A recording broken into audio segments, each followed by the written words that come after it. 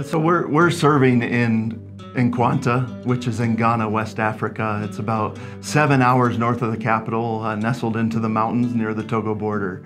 And uh, we got there, and two weeks after we arrived, uh, there was a storm that made all sorts of destruction on the compound that was there, uh, ripped the, the, the, roof off of the building, uh, made some destruction inside, and we lost about 700 feet of compound wall.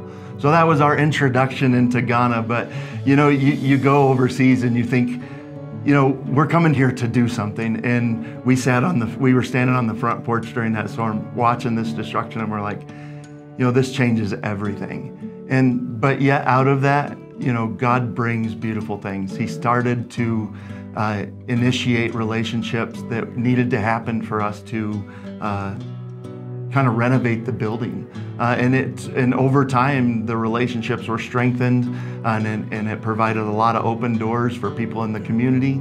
Um, our vision is to come alongside the existing church in Ghana. Uh, there's a lot of false teaching that happens, a lot of untrained people who are leading churches. And so we're working uh, through a resource center. This building uh, is pivotal to our ministry. And so uh, to see that renovated, it was just a, uh, is a blessing to see where it's come so far.